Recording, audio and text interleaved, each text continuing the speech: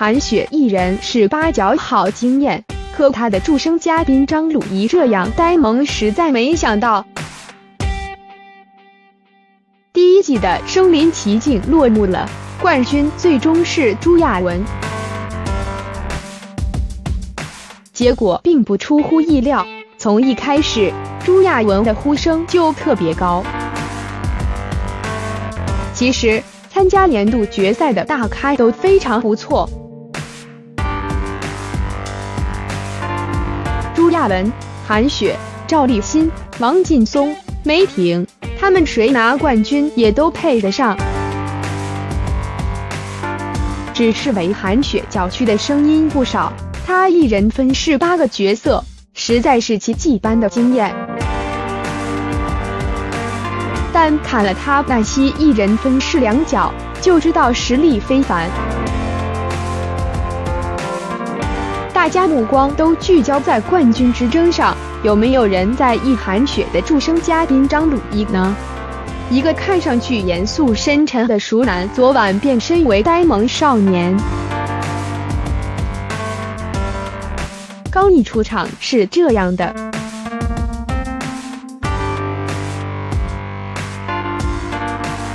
下一秒画风突变，不知道看见谁了，躬身低头。不好意思的笑，看他这样场，韩雪笑的五官变形了，果然是没有偶像包袱。下楼后，张鲁一还捂嘴笑呢，还是有点害羞，像刚转校来的新生，连位置都找不准了，站到对手那边去了。和韩雪距离零点九米。韩雪说两人没见过面，只是网友。果然诚实，这样的网友我想来一打。你不过来，我就过去吧。韩雪一点一点向张鲁一靠近，机智如郭德纲，贫了一句他们仨一家的。张鲁一才意识到自己站错位置了，赶忙过来，同时问郭老师好，然后一一问候，都是称呼老师。这位新来的同学很有礼貌的。看张鲁一如此呆萌，尹正都笑成这样了，心里飞起张老师，你好可爱。韩雪接受拷问，揭示他们是网友的原因。一旁的张露一还是有点紧张，手指挠起脖梗。这个小动作彻底暴露很少上综艺的特性。张露一是很少上综艺节目的，这应该是首次到综艺节目做表演嘉宾。配起音来也是在现实力派水准，《寻梦环游记》里的这首歌，他唱的好深情。瓜哥承认被打动了。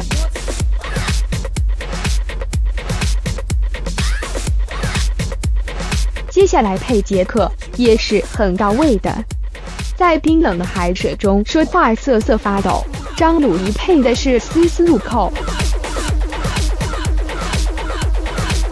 预料到了韩雪的惊艳，没想到张鲁一如此呆萌可爱。下一季《身临其境》，好希望张鲁一来参加啊！你们期待不？认识张鲁一是从红色开始的，时而呆萌可爱，上海男人被他演的惟妙惟肖。瞬间化身为身手不凡的特工，那动作一个潇洒了的。麻雀里他是演技担当，为角色增肥十公斤，外表看起来优雅斯文，心里却阴险毒辣，杀人计划周密。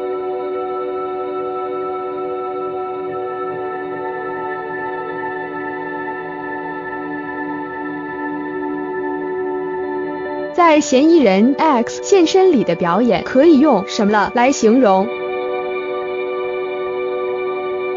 眼神、表情、动作，瞬间带你入戏。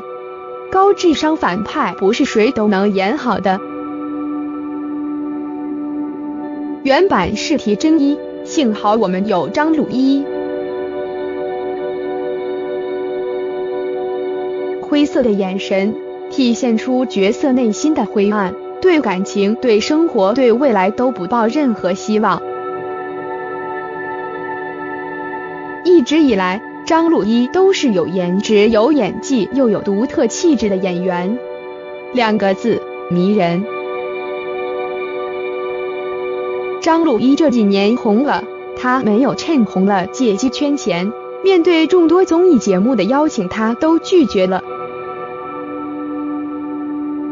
一个演员只想好好演戏，这一次参加《身临其境》也是因为欠韩雪一次合作，